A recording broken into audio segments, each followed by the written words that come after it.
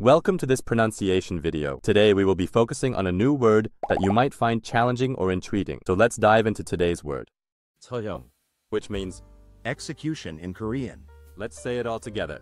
처형, 처형, 처형, One more time. 처형, 처형, 처형. Thank you for joining us on this adventure in pronunciation. Remember, language is a journey, not a destination. Keep exploring, experimenting, and expanding your linguistic horizons. We'll see you next time.